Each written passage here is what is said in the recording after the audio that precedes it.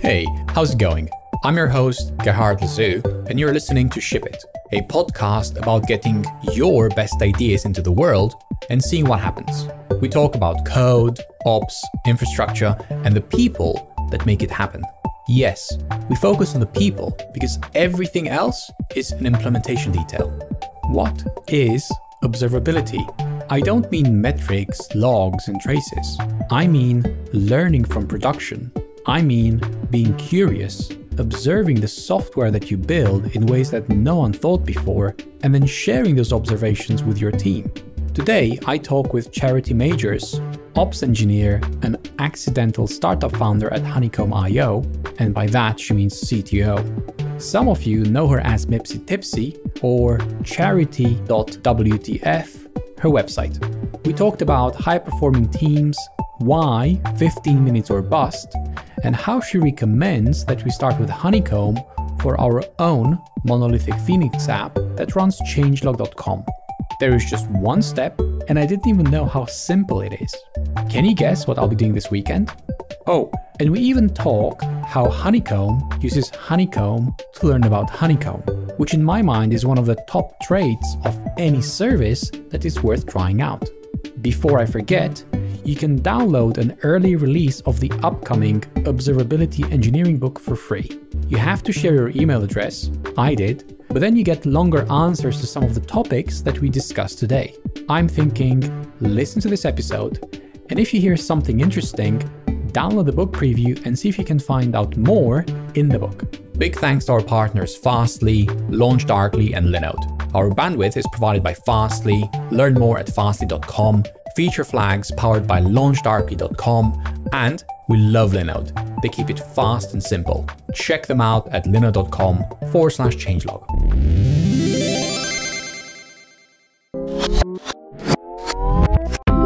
What's up, shippers? This episode is brought to you by our friends at Fly. Fly lets you deploy your apps and databases close to your users. In minutes, you can run your Ruby, Go, Node, Deno, Python, or Elixir app and databases all over the world. No ops required. Fly's vision is that all apps should run close to their users. They have generous free tiers for most services, so you can easily prove to yourself and your team that the Fly platform has everything you need to run your app globally. Learn more at fly.io slash changelog and check out the speed run in their excellent docs. Again, fly.io slash changelog or check the shows for links. We are going to ship in three, two, one.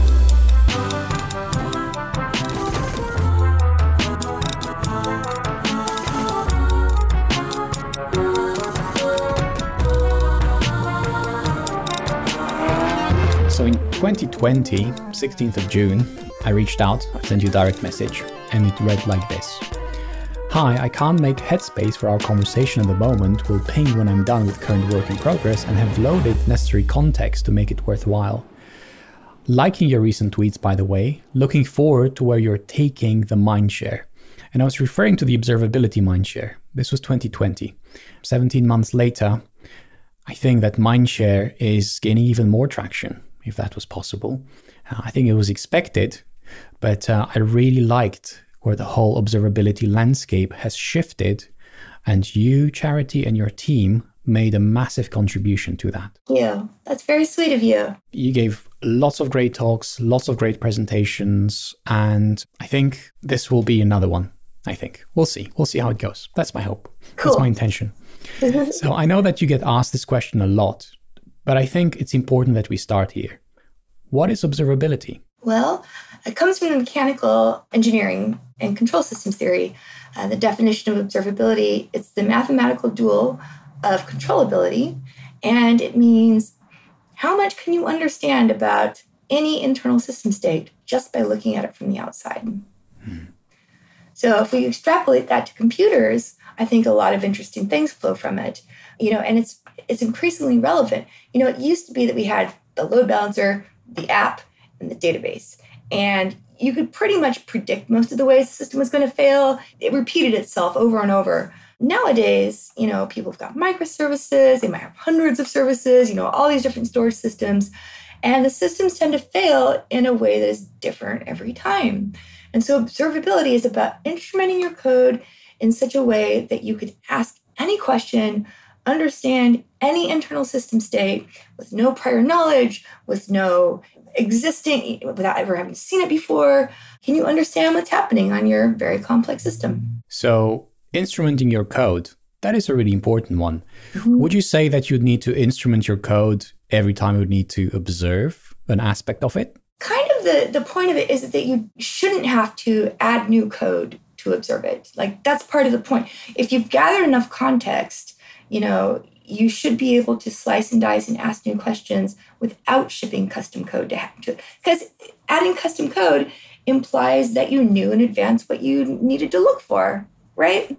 So the code, in a way, it needs to expose some information about how it runs. You want to gather any information you happen to know about, you know, the parameters that were passed in or the runtime environment, the language internals, the container, the systems environment, as well as, you know, you, know, you want to wrap automatically and, and store like any HTTP calls.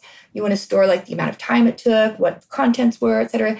Any database calls, you want to store the, the raw query, the normalized query, the amount of time it took, you know, the return value. You know, you, you want to store anything that might help you find this request at some later date. Any user ID, any shopping cart ID, like high cardinality, you know, dimensions like IDs are, are incredibly identifying and incredibly useful. So the point is you don't know what's going to be useful in the future. So you should just throw in anything you think might be useful and someday it will be. I find it really interesting how you keep mentioning things which make business sense. They are typically related to the problem that your application or your code is trying to solve. What you're not saying is CPU, memory, disk. That's very interesting. Why is that? I feel like we're seeing a bit of a divergence. You know, I think that monitoring tools, things that are metrics based, are the right tool for the job when it comes to understanding your infrastructure. You know, from the perspective of the service, is this service healthy? Right? But that's a very different question from is my code working? Is this user happy? Is can the request execute from end to end? Right? That's the observability tool. Now, I do think that you know the observability from the perspective of your code i think there are a couple of metrics that that are probably useful to software engineers you do want to know if you just shipped a change and your memory usage tripled you do want to know if you just shipped a change and your cpu is suddenly saturated but there's only like three or four of those that are really useful most of the time the rest of those metrics tend to be everything under slash proc or all of the like IPv6, you know, counters and statistics and stuff. And, and that should not be the purview of software engineers who are trying to write code and understand it in production. So the way I hear it, it's more about almost like the user, the end user experience, what makes them happy, what makes them sad. It's a radical perspective shift from the perspective of the service to the perspective of the user. Another way to think of this is well, we blew up the monolith. It used to be you had a monolith, and if all else failed, you could attach GDB and you could just step through it, right? Well, then we blew up the monolith, and suddenly the request is hopping the network all over the place. Now you can't step through it. And so, you know, part of the way that we focus on instrumenting is gathering up all of that information around the perspective of the request so that we're almost like passing it along with the request as it hops the network from step to step. So that to me sounds a lot like what the microservice architecture would advocate for, right? You have lots of microservices. You're you have like screwed if you don't have something like this and you're running microservices. Yeah. Right. So this is very important for microservices. What about serverless? Absolutely. In fact, I will often tell people that the way that the right way to think about instrumenting your code in the future is just imagine you're you're running serverless, right? Because you might not have access to all of the underlying infrastructure. All you have access to is what can you tell through the lens of the instrumentation that you're embedding in your code. Turns out you can tell a lot, and that's what's actually important. Interesting. So, if you do have a monolith, what do you do? Can you still use the observability that you mentioned about? Absolutely. It's never not easier to have observability tools. I feel like, though, when you're asking someone to radically change the way that they do things or adopt a new tool, what you're offering them needs to be an order of magnitude better than what they've got. Mm-hmm. For some monoliths, it is. For some, it's not. For a lot of monoliths, they can get along just fine with, you know, some Datadog graphs, some dashboards, some, you know, monitoring checks, because almost all the complexity is bound up inside the application logic and, you know, they're familiar with that. So, you know, you should never embrace, you know, change for the sake of change or complexity for the sake of complexity. If what you have is working for you, more power to you. The problem is that, like, for so many of us, it's almost like falling off a cliff. Like it's very discontinuous. When when the old solutions stop working for you, they really stop working, and it's it's pretty pretty abrupt and pretty brutal. Right, that makes sense. Going back a little bit to the users, I think that is very important because all of a sudden being able to see or like visualize in a way the journey Yeah. that a user takes through your app and what it entails through your app. I think that is very powerful. And being able to understand what is not working for that user specifically yes. is important, but also extrapolating that to all your users. Yes. If it's broken for this user, who else is it broken for? Hmm. Absolutely. And I like that perspective because that can work equally well for development teams. So we often think that our end users are the only ones that benefit from the code. Hmm. But a lot of the time, the development teams spend a lot more time with the code, oh. wrestling it, fixing it, Yes. debugging it, whatever needs to happen. So, how does the observability that you think about help those types of users? Well, the best engineers I've ever worked with are the ones who will have, you know, one window up with their IDE and another window up with their observability tool.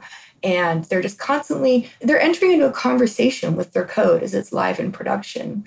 So observability isn't like a magical, you know, fairy solution in and of itself, right? There are other important components here that work kind of in synchrony. And I think that CI/CD, having a really healthy CI/CD pipeline, is another really important part of this because when you're writing code, you have all that context in your brain. It's fresh. You know what you're trying to do. You know what trade offs you made. You know what you didn't try, or what you tried and what failed, you know? And that stays in your brain for minutes, hours, not, not much longer after you've switched context and picked up a different project, right? Mm-hmm. Then it's gone and it's never coming back, right? Mm-hmm. And so, like having a CI CD pipeline where once you merge your changes to main, it automatically, you know, picks it up, runs tests, and deploys within, I think, 15 minutes is, is a good upper bound. And very importantly, deploys only your changes, right? If it's small, it's, it's compact, you know, it's a few minutes, then you can ship one engineer's changes at a time, which gives you a really powerful sense of ownership. When you know your changes are going live within 15 minutes, you're highly incentivized to go look at it through the lens of the instrumentation you just wrote. When you're merging your changes and you're pretty sure that at some point in the next 12 to 72 hours, your changes and anywhere from zero to 15 other people's changes are going to be shipped nobody's going to go like, like nobody's going to go look at it right? So you've severed that that tight virtuous feedback loop of ownership. I also like to point to you know facebook did some great research earlier this year that showed from the moment when you're writing code and you write a bug the amount of cost and time and pain et cetera goes up exponentially when it comes to fixing that bug the longer it gets right You've written it, you can backspace. That's the easiest it's ever going to be, right? The longer it gets, the more expensive it gets, the more painful it gets, the, the harder it gets. Once it's been, you know, a month or two, it probably won't even be you that's finding and fixing the bug. It'll be some other poor fool who has no con- context, you know? And so, you know, observability is what allows you to, to like get your microscope out and compare, you know, at, at the level of the raw request, like what is different about the request that have this build ID with these changes, with this instrumentation. And once you can see it, it's so easy to fix. Mm. Fixing bugs is, bugs is not hard. Finding the bugs is hard, right? It's always that one character change or the one line change, right? It's and the hardest bugs, that's exactly what it is. Or you just reorder a line and guess what? Yeah. It starts working again. Nobody knows why. Don't touch it. Right? It's that's what typically happens. The hard part is finding where in the system is the bug mm. that you need to fix, right? And and knowing that there's a bug in the first place. And these are the things that observability is, is so well positioned to do for you. Because it speaks the language of endpoints and variables and, you know, not the language of, you know, low-level system stuff. I think the term observability is overloaded, overused. Well, it is now. When I It is now, right? Not when it started, right? I I planted my flag on it. That was my word. you had quite a bit of time to think about it, and I really like the alternatives that you came up with, which I think they all mean observability. One that really stood out to me is being curious in production. Hmm. What happens in your production? How do you know what is going on? And obviously, production is a metaphor for a system that really matters. Okay. Yeah. Because you maybe work on a software that gets shipped to other users that get to use it in their production. And it's not your production, it's their production. So I you're removed from it. But still, understanding how that software behaves in production, someone else's, Yeah. is also important. So, how can you be curious in production? I mean, what does that even look like? And I think what you've just described captures it well. Reducing that time between introducing the bug and seeing how the system behaves at scale, right? Because that's what production typically means. Lots and lots of requests, lots of weird paths being taken through your code base. Heisenbugs, right? One Yeah. in a million. They only happen in production. And I Right. think property testing and fuzzing help with it somewhat, but not to that scale, right? You can't generate production scale. It's impossible. You've just basically got to accept that all the interesting bugs are only going to happen in production. There's no such thing as a staging environment that matches production. It doesn't exist. I love that. I love that. And I, I think that's why you should push directly to production. On Yeah. a Friday, the day doesn't matter really. It's just a day. Like, what if it's Saturday? Does it matter? Well, if you're using feature flags, then it shouldn't matter, right? If you're using feature flag, like decoupling deploys from releases is one of the most powerful things you can do for reliability. I love the phrase that the intercom folks came up with, which is that shipping is the heartbeat of your company. Like if you're a software code, shipping is, it should be as regular, as minor, as uneventful, as boring, as tedious, as pedestrian as, as a heartbeat, right? Hmm. Because that's how you deliver value to users. It shouldn't be something that you have to get all worked up about. It should just work. It should happen many, many, many times a day, right? Predictably, etc. Any day, every day, doesn't really matter. As long as you're shipping, right? Like a lot of people get worked up about the phrase testing in production, but in fact, we all do it.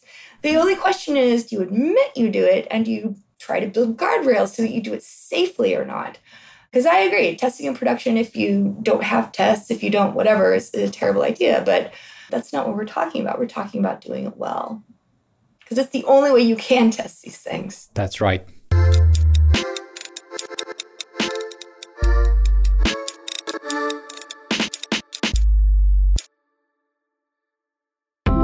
This episode is brought to you by Armory. With Armory, development teams are empowered to deploy their code with increased safety, resilience, velocity, and compliance to any production target on prem or in the cloud. In this segment, I'm sharing a clip with Isaac Mosquera, CTO and co founder of Armory. He shares the details about the value they bring to enterprise teams leveraging continuous delivery. If you're using Spinnaker or have heard of Spinnaker, you're probably aware of some of the operational challenges and some of the gaps in, in functionality. Because when Netflix built it, they built it for Netflix. And so why Armory exists is to help bridge that gap. It's an excellent core technology that helped Netflix deploy at scale in the cloud. But if you want to use it yourself, there are things that need to get done. And in order to deliver those features and deliver that enterprise functionality that our customers need, we built a plugin layer. And in doing so, what that means is you can bring your own Spinnaker, you can use the Armory distribution, and you can get our features and functionality and enterprise scale by layering on those plugins. That is exactly what Autodesk did. They're using the distribution. We are layering on additional plugins that they need, like the Amazon Lambda functionality that we actually built in conjunction with Amazon so that they can actually move faster in the cloud. And that's exactly how we're helping Autodesk. Head to armory.io slash ship it to learn how Armory is helping teams like Autodesk to accelerate their innovation using Armory's enterprise grade distribution of Spinnaker. Request a demo at armory.io slash ship it.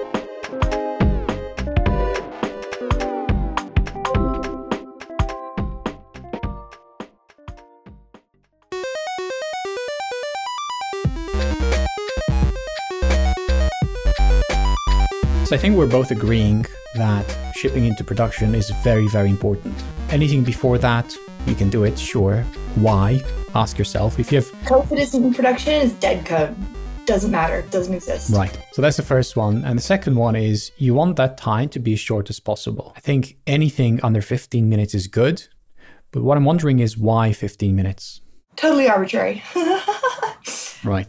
Just the longer the longer it gets, the more pathologies start to creep in. You enter into this sort of death spiral of takes longer, so you bigger diffs, so code review takes longer, so you know you start to ship multiple changes for multiple people at a hmm. time, so you decouple. You know, it just it's badness. And these numbers I've also pulled out of my ass, but they also seem to be true. If you ship within 15 minutes, that takes you, you know, X number of engineers to build, maintain this code base. If it takes you on the order of an hour or more, you need twice as many engineers. And if it takes you on the order of a day, you need twice as many again. And if it takes you in a week, twice as many again. And I definitely am not exaggerating it. If anything, I am being too conservative and un- underestimating it. So, Right. and that that time is not being spent on it's the worst parts of engineering. It's the waiting on each other and the trying to find the bugs that someone else wrote. And, you know, the engineering can be such a wonderful, beautiful, creative, like fantastic, you know, profession, but only if you're on a high performing team that can, you know, spend most of its time solving new and interesting hard problems that push the business forward every day. There's nothing magical about it. It's just that I think that honestly, 15 minutes is achievable for anyone who just invests the engineering effort. It's not rocket science, is just engineering. You just have to set a level and hold yourself to it. You know, instrument your build pipelines and see where all the time is going to. I think Intercom, again, they're, they're some of my favorite people, but like mm-hmm. they ship in 15 minutes or less and they have a Ruby Rails monolith. like, if you're using Golang or something, you have no excuse. Anyone can get it down to 15 minutes mm-hmm. or so. Five minutes or, or less, that's trickier. Like, I don't think that's achievable for everyone in every stack, but 15 minutes or less, I think that's actually achievable for almost everyone. I think this feels to me very related to testing, right? You don't want your test to take more than some Yeah. number of minutes. And if Yep. they do, then, well, how many changes can you push to your repository if you have to know, like, wait, I don't know, an hour, two hours to know whether you haven't broken anything? I think Yeah. this is very similar, but maybe more important because this also includes the tests, right? You would obviously would want your test to run within mm-hmm. these 15 minutes and then, you know, have your code deployed. So I think I think there is some sense there, but also I think even shipping may be an overloaded term. Like, what does it mean to ship? Well, obviously, getting code out there in production. But what if you think about shipping as learning? How long would you want to wait to learn something or actually to get an answer to one of your questions that you have? I mm-hmm. wonder, what if? And you try something, and if you have to wait an hour for an answer, well, I think you'll get frustrated very quickly. if you have to ship a one line change, how long would it take you to get that out?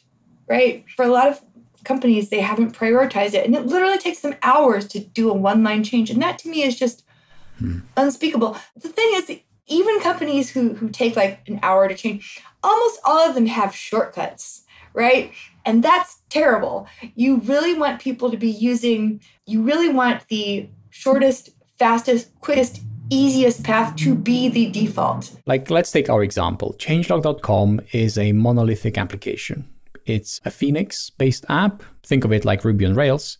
It's using a PostgreSQL database. It has Nginx in front. This is Ingress Nginx. It's running on Kubernetes. And there's a load balancer in front. There's a CDN in front as well. So, if we wanted to make our setup more observable, the way you think about observability, as we've discussed so far, what should our first three steps be? What language are you using? What language? It's Elixir. Yeah, you should install the Honeycomb OpenTelemetry instrumentation Mm-hmm. into your application, and then that'll give you out of the box. You know, it'll give you it automatically wraps HTTP and database calls and all this stuff, and then you might want to at some point go in and, and add some amount of tracing. So the tracing is like the custom stuff, right? Where we care about specific, I know, calls being made, how long they take, stuff like that. which is optional, but it's really handy when you're trying to figure out where your time is going or, you know, concurrency problems or stuff like that. Okay, so that was just like one step. Install it, and that's it. I like Yeah. that. That sounds really good. Okay, that's super simple, very interesting. And how would we visualize the data? So our app starts emitting those events. What happens next? You go to honeycomb.io mm-hmm. and your landing page will be familiar to you if you used an APM tool before. It'll have like errors and latency and request rate, etc. Mm-hmm. But then you can you can start playing around with it. Like if you're trying to diagnose a problem or if you're one of my favorite things about Honeycomb that we've done is bubble up, which is this cool thing where if you see a graph and there's a spike or something and you- you're like, ah, this is bad, or I want to know more about this, you can just draw a little bubble around that spike. And then we will pre compute for all the dimensions, like outside and inside of the bubble, and diff them and sort them. And we'll tell you exactly what is different about the thing that you said you cared about, whether that's one thing or five things. So you might go, "Ah, I care about this. And they'll go, ah, these errors are could be maybe the export endpoint, all from this region of Amazon, all for this particular user ID, all for this particular language pack. And, and it's a really Right. nice way to just like immediately see, ah, this is what this is what's different about the thing that I care about. So let's say that we have certain requests which sometimes are really, really slow. Could Honeycomb help us identify why they're slow? Hell yeah. Okay, okay. I'll try that. And if it doesn't work, who should I talk to? You? Great little intercom bubble pop up in the app that will take mm. you to our, to our support team, and they're wonderful. Amazing. Okay, that's exactly what I intend to do next. Excellent. Okay, and behind the scenes, where are all those events going? Well, they come to the Honeycomb API, which is a pretty thin little shim that you know does some rate limiting, et cetera, and then drops them into Kafka. Mm-hmm. And you know, Kafka queue is consumed by a pair of retrievers. That's our custom. You know, I spent my entire career telling people never write a database, and I'd like to be very clear that we have not written a database. We've written a storage engine. Mm-hmm. Completely Okay. different. What's the difference? Not much. right, uh, okay. it's a columnar store, you know, so it gets consumed by a pair of retriever nodes and pretty swiftly it also gets aged out to S3. Mm-hmm. And then when you're issuing requests via the Honeycomb, you know, UI, mm-hmm. the queries are actually run by Lambda jobs, which will then fan out, do a full table scan, sort merge the data and return it to you in the browser. That's interesting. So I hear S3, I hear Lambda. The API, you're not using API Gateway or anything like that from Amazon. API gateway. Whatever the name of the service is, they have a service which basically provides API functionality for your Lambdas. So you can hook up No. Lambdas to API. No, you're not using that. Any, any, do you know why? I'm curious, genuinely. I, I'm not I'm not sure actually. And then why Kafka? I have to ask that for other reasons. since we are writing our own storage engine, it gives us like 18 hours worth of, of backup. You know, if we needed to replace some events or or if anything happened. It's also how we hmm. bootstrap, you know, and bring up, you know, new nodes. Why not Kinesis? At the time, I was the one who made that decision. This was like five years ago. And there were some constraints that Kinesis had that weren't, I think it had to do with the the events and some of the data types that we needed. They just was it wouldn't support, wasn't flexible enough. Okay, so it's a kinesis limitation that Yeah. was there in the past and doesn't matter whether it's there now. Obviously, you have Kafka. It's running well, I'm assuming. honestly ideologically while i do believe in outsourcing you know making making someone else's problem wherever possible given that kafka is basically functioning as part of our database which is you know part of very integral to honeycomb mm-hmm. it is one thing that i think that it's better for us to have in-house ex- expertise and run ourselves Okay, so that answers my next question, which is if it's a managed service or if it's something that you install, you manage, you update. yeah we install and manage update How is that experience? I'm wondering. kafka Some people, yeah, some people say that like managing Kafka, like installing Kafka clusters, uh, used to be difficult with Zookeeper. I think that is going away these days. I don't know. you know not many startups have an ops co-founder Okay. and we were fortunate enough to, to have me. So that shit's not that hard if that's your bread and butter. Right. Okay. And then it's S3 behind the scenes is Lambda. So I'm assuming that when the Honeycomb UI is displaying those charts from all those events, you're actually consuming those events from S3. Is that right? To draw the For the first couple few hours, depends. It's dynamic based on you know your write throughput, et cetera. But, mm-hmm. but it gets written out to SSDs 1st and mm-hmm. then it gets aged from there into into S3. So yeah, it's it's reading from some combination of the local SSDs and S3. It was interesting when we moved from using SSDs for everything to you know aging things out to S3. We really thought there would be a severe performance hit. Mm-hmm. Turns out no.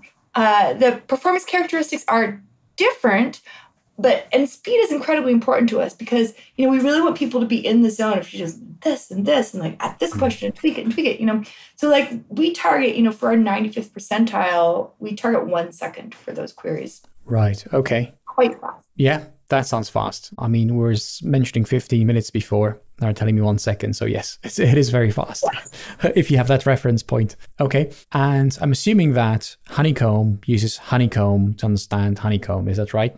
extensively we have office dogs honeycombs hmm. was actually first named bloodhound and then we shortened, shortened it to hound.sh and then we got a cease and desist from hound ci so now we're named honeycomb but retriever is the name of our database and poodle is the name of our front end and and dog names for everything we have a dog food cluster that mm-hmm. is how we monitor everything that honeycomb does with honeycomb and then we have a kibble cluster that monitors the dog food cluster And what monitors the kibble cluster? nothing Nothing, right.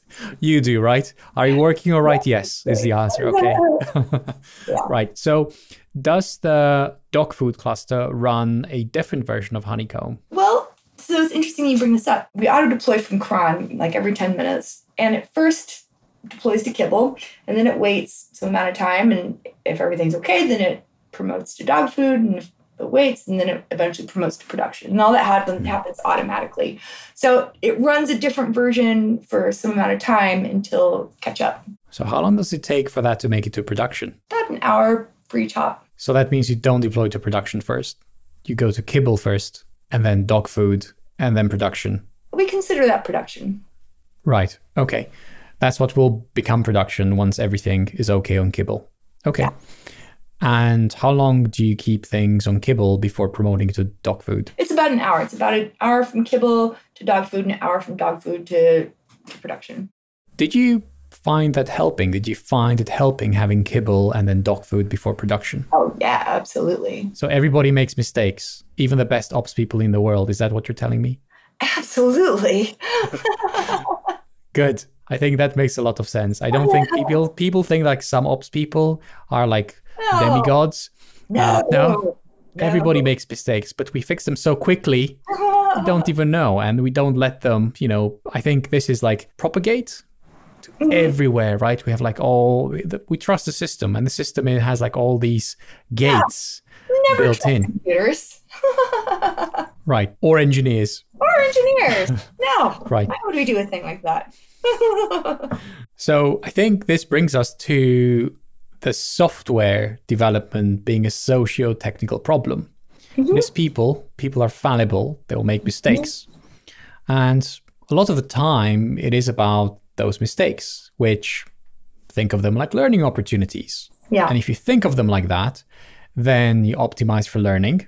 15 minutes is important.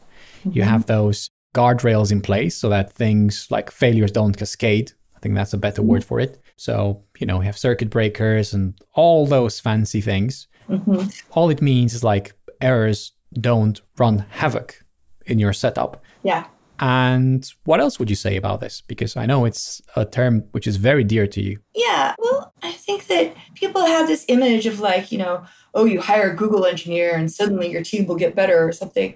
No, I think that it's pretty clear that any engineer who joins a team will, within, you know, three to six months or so, will be shipping and performing at the level that that team performs, whether that's up or down. Hmm. The power of the group, that the environment that you're in, is far more powerful than your own personal knowledge of data structures and algorithms.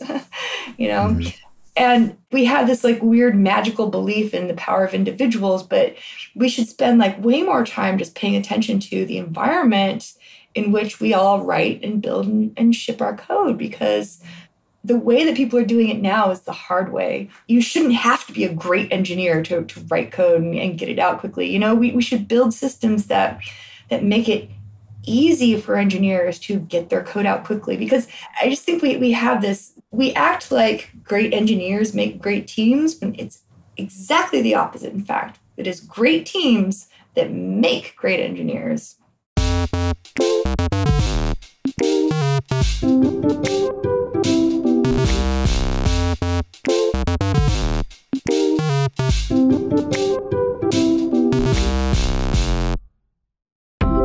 This episode is brought to you by Armory. And in this segment, I talk with Cole Duclos from Autodesk. Cole is the person responsible for architecting their continuous delivery platform and cloud deployment platform. Cole shares exactly why he chose Armory to ensure the development teams at Autodesk safely deploy code more often while maintaining resilience, velocity, and compliance. My name is Cole Duclos, and I am a senior principal engineer at Autodesk, currently acting as the architect for our cloud deployment platform. So, here at Autodesk, we're in the midst of transforming our cloud deployment solutions into more of a platform approach. And it was important for us to leverage a community driven open source technology like Spinnaker to enable the deployment requirements that our application teams need today. With Spinnaker, it's an open source tool, obviously, and it, kind of comes with some risks of the volatility of changes coming in and how do we mitigate that at an enterprise level, which is really important to me as an architect. We chose Armory to, to be a partner in this space to help prevent us and shield us from these highly volatile changes that do get introduced into the community distribution of Spinnaker because they offer their own distribution, an Armory specific distribution that's been great for us as an enterprise because of its extensibility with the plugin features that they offer.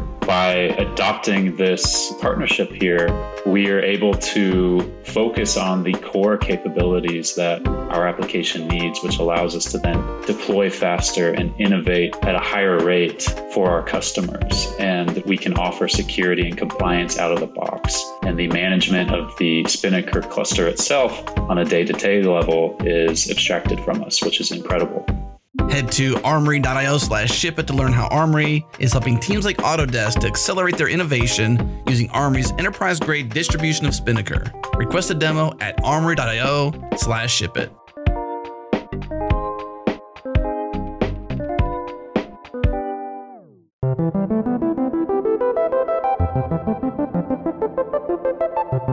I think we're touching on something very, very important. You keep mentioning systems, you keep mentioning teams. Now, system means teams. It doesn't mean a technical system. Mm-hmm. It means how everything works. And a system can even mean a company. They're never closed systems, by the way. They're always all sorts of forces. And it changes all the time, sometimes very fast, or some people think like that. Others think it's very slow. But it is a system, all of it. And I'm wondering what does a high performing team look like in such a system or a high performing system? What does it look like from your perspective? High performing team is one that gets to spend most of their time and energy and focus solving new hard problems that move the business forward, not trudging in the salt mines of engineering, just trying to like find bugs and reproduce bugs and like firefight. And a high performing team is one that ships often, that doesn't find it remarkable to ship. You know, a high performing team is one that can take a lot of stuff for granted because there's a real structure, you know, socio-technical structure around them that the CI/CD pipeline is well tended to. You know, their their internal, external SLOs, their you know, people's time is taken seriously and respected mm-hmm. as the incredibly valuable resource that it is, not frittered away and wasted. So if a team would like to become high performing, but let's say they're fighting their CI/CD pipeline what would you recommend they do? Well, a team or an individual. I mean, I, I feel like you can only really make decisions as an individual. And while I do believe in like, you know, pitching in and, and, and like trying to make the system better, there are also a lot of places where there are too many entrenched forces that are against change. And I, I really think that like people should be more willing to leave their jobs and go find a high performing team to join. Go find that high performing team that will make you a great engineer, right? You only get one job, you only have one career. Your career is it's the most powerful, it's it's a multi-million dollar appreciating asset. You have an obligation to yourself to to curate for the long haul, you know? Join great teams that where you don't have to fight to make change, to, to make progress, mm-hmm. where you can learn a lot um, from other great people. I've seen too many amazing engineers, you know, stick it out year after year at jobs that didn't appreciate them, where they weren't allowed to make the changes that they knew needed to be made. There are other places that will welcome your creativity and will care about your sleep schedule.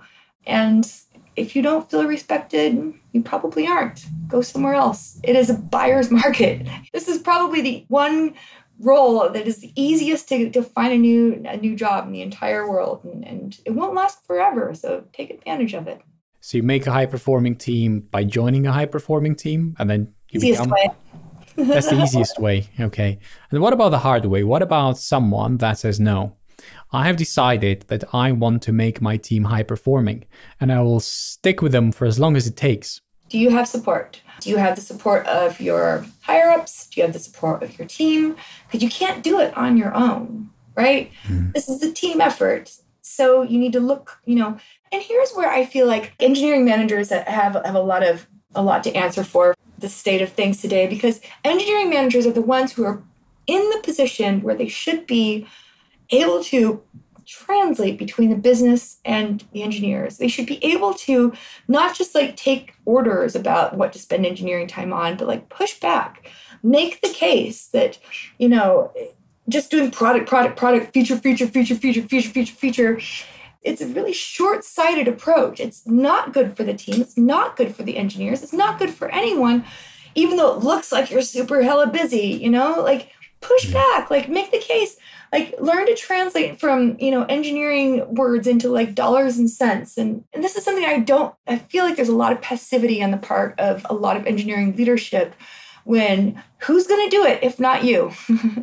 What would you say about product people that i don't want to use the word boss but let's say tell engineers what to do? And sometimes the engineers think you know what? This doesn't feel right what would you recommend in that situation? I don't think that that's a healthy situation. Product people should never be telling engineers what to do. You know, it should be a triad. You've got product, design, engineering. You're all equals. All your voices matter. You're all experts in your own domain. The idea of a product person telling an engineer what to do in terms of engineering labor is ludicrous. You know, you wouldn't tell them how to run their user surveys. You know, so like so much, this comes down to respect and it comes down to a healthy culture. And, you know, you should push back gently, push back more firmly. and in the end, if you aren't listened to, leave. What does a healthy product engineering relationship look like? It looks like a triad. It looks like a partnership. Nobody's trying to make anyone do anything. You're all aligned on wanting to move the business forward and wanting to do a good job. And, you know, I'm not saying it's easy, but unhealthy power dynamics are should be pretty easy to sniff out, and that's never okay. We've been discussing with Ian Miell in the previous episode about the power of money, and especially money flows. And he makes a really good case where he says you should really follow the money flows because they will dictate mm-hmm. what is important, what should happen. Yes. How, in your opinion, does the money flow or money come into play when it comes to product and engineering? Because there must be a relationship. What does it look like? What does a healthy relationship look like? Well, this is why, you know, the naive, the simplistic, you know, answer is that we often see is just to focus on feature, feature, features, because there's a straight line from feature to money, or there should be, right? It's a more elliptical line from tech debt to, to money, right? Or from, you know, observability to money, or from, you know, happiness. happiness. You know, there, there are a lot of things that are more elliptical, but they're no no less real, right? It's just a question of short-term investment versus long-term investment. And you can't just play the short-term game all day, all week, all month, all year, or, or or you'll lose people you'll you'll lose happiness you'll you know it, it shows just in, in people's weary faces So, how would you measure what is important on a team? Money is not it, right? That's a short term goal, which has many negatives associated with it. It's important, of course, but it shouldn't be the sole driver. No, it depends to some extent.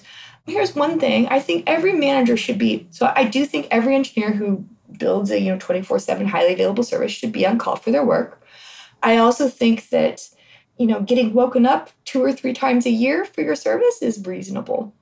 I think more than that fear is close to abusive, right? And I think it's engineering manager's job to track this to make sure that it doesn't get out of hand, to take, you know, assertive, you know, active, you know, measures when it starts to get really noisy, to carve out time for because sleep. Sleep is an important thing which leads to retention of engineers which leads to you know job satisfaction and all other intangibles. But like that's one pretty solid thing that i can put my finger on. You know just people's ability to spend their time you know, focusing and not being interrupt driven, not being woken up, not being firefighting all the time is, you know, every engineering team has two constituents. There's your customers and there's your engineers. Neither one is more important than the other. That is really powerful. So, how do you measure the happiness?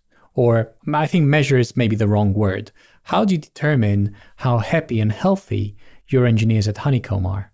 Well, you know, you can start by asking them and by doing, you know, anonymous surveys now and then. Good engineering managers have their finger on the pulse of their of their teams and you know, they, they should be sensitive to th- to things. Is a team getting burned out? Is there are the demands unreasonable?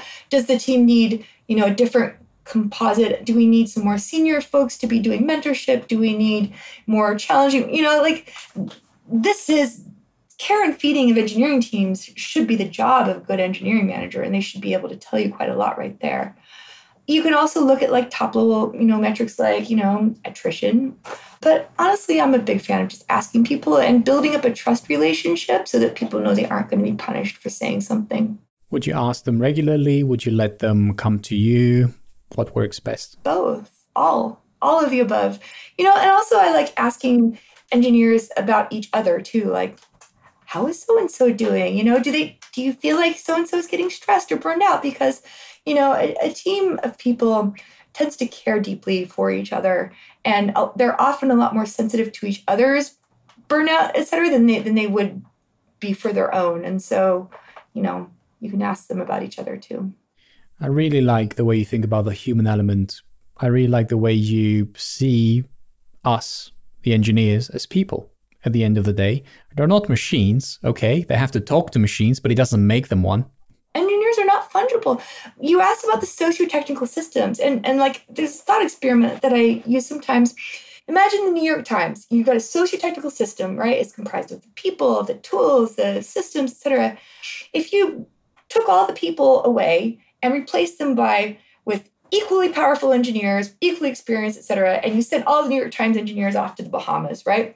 how long would it take them to figure out how to fix even a small problem? Right? Like so much of the system lives in your head, hmm. right? Context, yes. How do you even log in? Like it would take a really long time. The majority of the system lives in the heads of the people who who work on it. And so you can't take them for granted. You can't just replace them.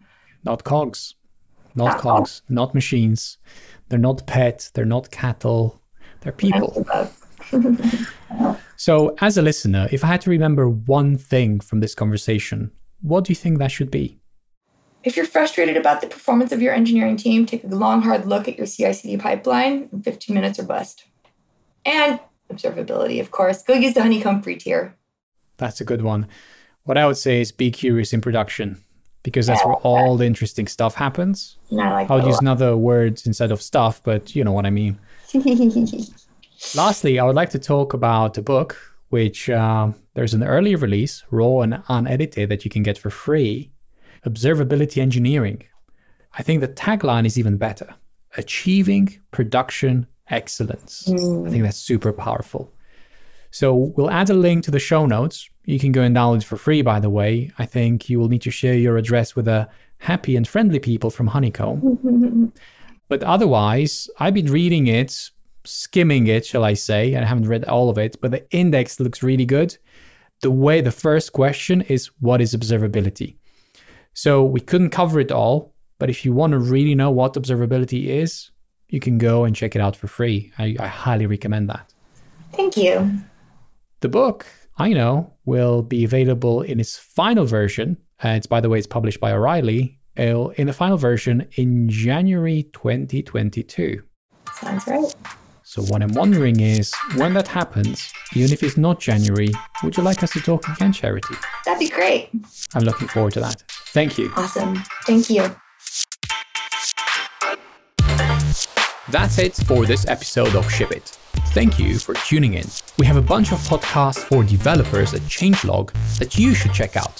Subscribe to the master feed at changelog.com forward slash master to get everything we ship. I want to personally invite you to join your fellow changeloggers at changelog.com forward slash community. It's free to join and stay. Leaving, on the other hand, will cost you some happiness credits. Come hang with us in Slack there are no imposters, everyone is welcome. Huge thanks again to our partners, Fastly, LaunchDarkly, and Linode. Also, thanks to Breakmaster Cylinder for making all our awesome beats. That's it for this week. See you next week.